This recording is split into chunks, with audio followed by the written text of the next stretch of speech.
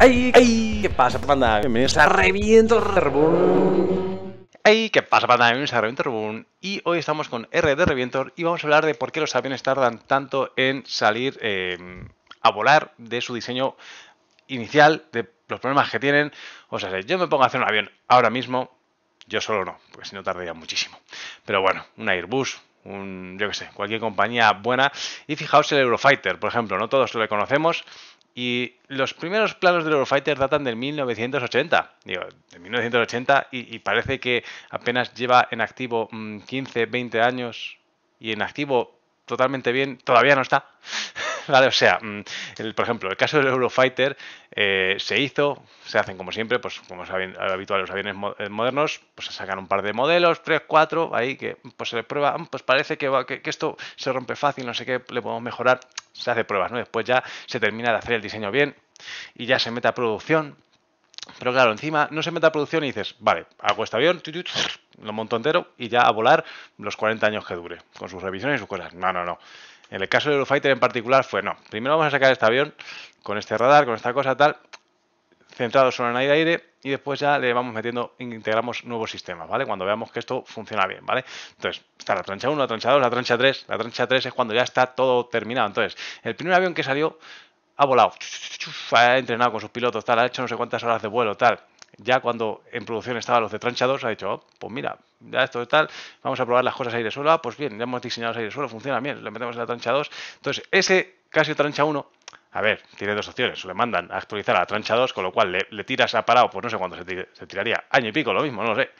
Y luego mandas otra vez a volar, hace sus cosas tal, y luego ya terminan de decir, ah, pues mira, el aire aire ya lo tenemos bien, el aire suelo ya lo tenemos bien, nos faltan estos tres sistemas, que vale la tranche 3, porque lo hemos definido así en el... Es como DCS en el F-18 que te dice, bueno, pues este año vamos a hacer esto, esto, esto. Pues igual, ¿no? Entonces, la trancha 3 le metemos aquí un pod que dispara rayos láser, por ejemplo, ¿no? Entonces ya lo inventan, lo colocan, ya el avión Eurofighter recién nuevo ya sale con su trancha 3, toda perfecta, todo, final, y dice, este es nuestro producto final. Claro, pero nosotros teníamos un trancha 1 que lo hemos metido, lo hemos actualizado a trancha 2, y ahora le metemos y le actualizamos otra vez en trancha 3. Bueno, Así es como funcionó el Eurofighter en particular. El F-35 no tengo ni idea, ¿no? Pero bueno, me da igual. La cuestión, se tarda muchísimo porque, claro, mm, se hacen diseños de aviones para cosas futuras. O sea, no dices, vale, a día de hoy, ¿qué tengo? Pistolas que disparan balas y cohetes. Vale, voy a hacer un avión con eso. Pues eso es muy fácil porque dices, bueno, ya está impresa, ya está todo funcionando, ya está la empresa que hace cohetes, ya está la empresa que hace las balas, lo que hace las pistolas. Solo tengo que hacer unas alas, ponérselas y usarlo. Pero la cuestión es que eh, en diseño ya no se piensa así. Hace tiempo, evidentemente, de 1980, fijaos, Aerofighter. Entonces se piensa en plan de, bueno, a día de hoy solo hay cohetes, pero yo creo que, que dentro de 20 años va a haber armas láser. Pues le vamos a diseñar para que tenga armas láser y vamos a mover la empresa para que haya armas láser, ¿no? La industria tal. Lo mismo no armas láser, pero cohetes, ya sabes, por ejemplo, has visto que están con los misiles semiactivos. Dices, pues hombre, los semiactivos están bien, pero ¿y si hay ideas por ahí de misiles activos que todavía no están en desarrollo, pero en plan, podemos a metérselo a este avión? Por ejemplo, ¿no? Bueno, pues tú piensas que van a haber armas láser. Entonces, claro, tú dices, bueno, pues mi avión va a tener armas láser aquí, aquí, aquí, aquí. Entonces llegas, haces tu avión y dices, bueno, pues todavía no se han inventado las armas láser. Bueno, pues hago la trancha 1 del avión, que me voy a centrar en soltar bombas. ¿Vale? Bombas, que hay bombas inteligentes, pues mira, le, aplico esta tal y así le doy unos 5 o 10 años para que la empresa siga moviéndose, ¿no? Entonces, en esos 5 o 10 años, pues voy a, fomentar yo el desarrollo, voy a hacer una empresa que sea Laser Industries y vamos a investigar esta tecnología, ¿no? Entonces se ponen ahí todos a investigarla y claro, igual, tienes que hacer un prototipo, el prototipo falla, te explota, se te cae el edificio, que aquí no le ha pasado, ¿no? Y continúas ahí haciéndolo y te tiras 15 años para hacer tu arma láser y ya llega y dice, ah, pues mira, ya se la puedo poner a mi avión y tu avión pues ya lleva 20 años volando, que todavía no disparaba, solo era solo soltaba bombas. Entonces ya le pones las armas láser y dice, oh, ya está, completa mi avión, armas láser, no sé qué, qué bonito, ¿vale? Entonces, como podéis ver, hay un problema de producción, ¿vale? Entonces, eh, el principal problema de por qué tardan tanto los aviones en salir a volar es eso, ¿vale? La creación de esa cadena de, cosas, ¿vale? Una vez que ya está creada la cadena de cosas, del arma láser, de no sé qué tal, pues es mucho más fácil y más rápido decir, venga, rápido, todas las piezas que tengáis, las monto, saco avión, las monto, saco avión. ¿vale? Además, lo que se tarda en hacer un avión, que no se tarda poco, ¿vale? Porque ya son materiales conformados, son cosas, no como antes que cogías un, metal y decías, ping, ping, cuatro martillazos, vale, esto se parece a un ala, dale ahí cuatro tornillazos, pi, pi, pi. ah, pues ya están, las dos alas juntas, ponle una silla y que siente alguien, ah, pues mira, aquí un mando así que huele, ah, pues ya tiene los mandos, ya puede volar.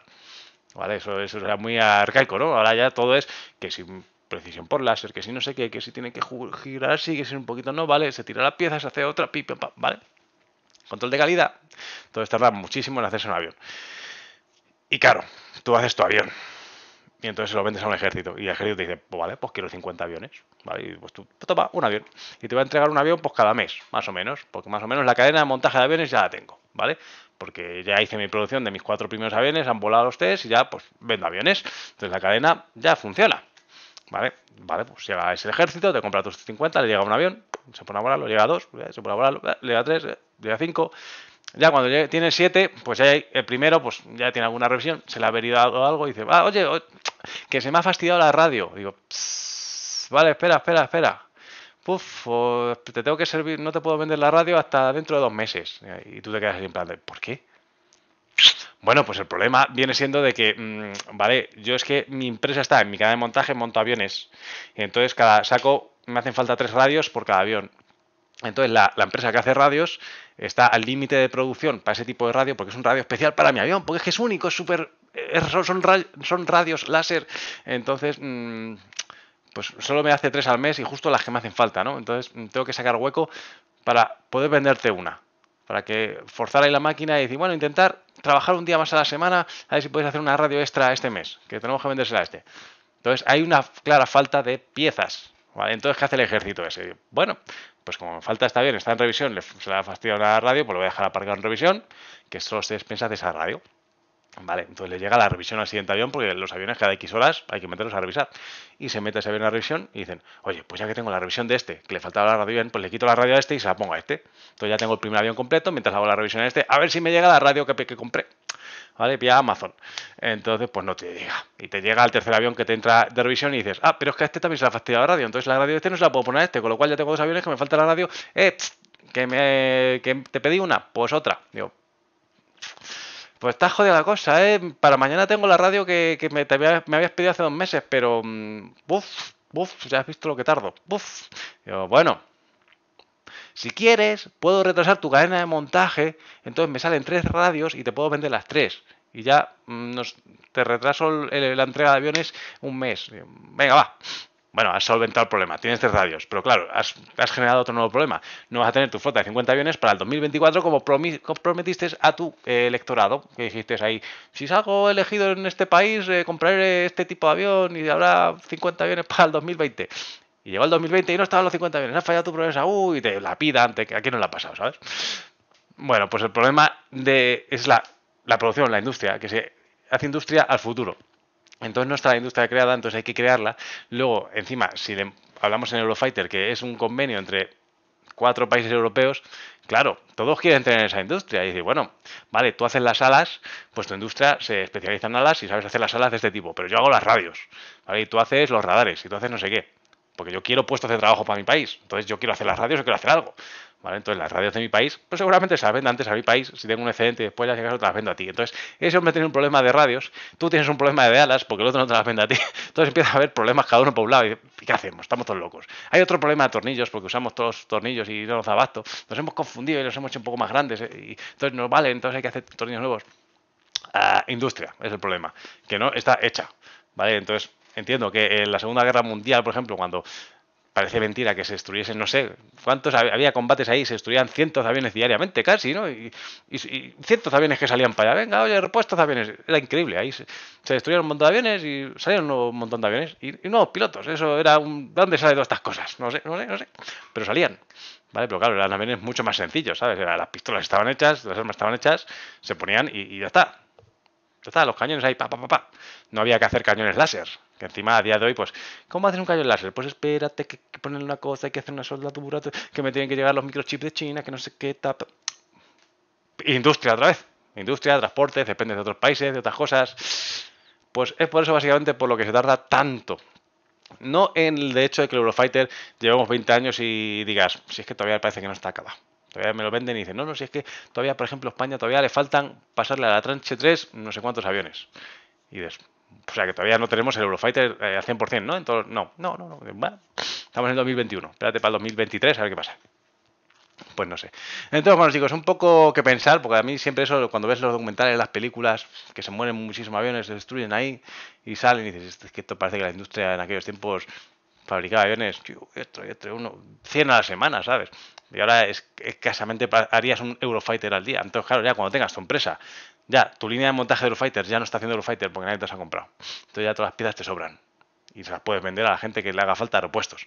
Con lo cual la industria dices, claro, no me puedo someter a hacer una industria que eh, si hago una compañía de radios, digo, bueno, pues en el momento que estoy haciendo aviones y piezas de repuesto, pues hago otra compañía de radios y tengo dos, ¿vale? Pero el día que solo estés dando repuesto a los aviones y no te compren aviones porque mm, porque sí, porque está el F22 que es mejor y ya está a la venta, ¿sabes? Yo qué sé. Entonces, pues, ¿y qué hago? ¿Destruyo esta empresa? Se, me hace ahí una... La gente se me pone en huelga porque si he, mandado a la calle a 5.000 personas, no sé qué, tal. ¿Qué haces? Pues no, te quedas con una empresa que hace radios y dices, vale, pues con esta empresa tengo que hacer toda la línea de producción, tengo que sacar piezas para el recambio y el día que la línea de producción se frene, porque ya no tiene que producir tanto, pues oye, pues las piezas de recambio dan abasto al mercado. Y el día que mm, lleguemos a la guerra, la cadena de producción estará casi parada porque no hay que hacer nada mm, y me pidan más Eurofighter, pues oye, mira, se supone que habrá bastante stock para que pueda decir, venga al avión y montar. Y lo que tardábamos antes un mes en hacer, pues podemos bajarlo a dos semanas, trabajando día y noche, yo qué sé, ¿sabes? Entonces, bueno, os lo vuelvo a decir, eh, una idea para que la penséis ahí, sobre todo por eso, para comparar tiempos modernos, tiempos antiguos, Primera Guerra Mundial, Segunda, Tercera, la Tercera Guerra Mundial que haya, se van a atacar los aviones, se van a destruir y nos vamos a quedar sin aviones y si acaso mm, al mes siguiente pues tendrás un repuesto de dos aviones y dedícalos a la defensa, no ser que te destruyan otra vez y te ataquen otra vez, mm, cuidado, ¿vale? Así que y se feliz, no se cuenta, compartir. Chao. No olvides suscribirte, darle a like, activar la campanita, no entrar en pérdida, hidratarte, comer fruta y sobre todo, ser feliz, joder.